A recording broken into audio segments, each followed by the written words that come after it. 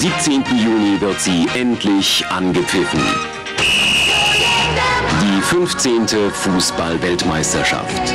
Erstmals treffen sich die besten Teams der Welt im Land der unbegrenzten Möglichkeiten.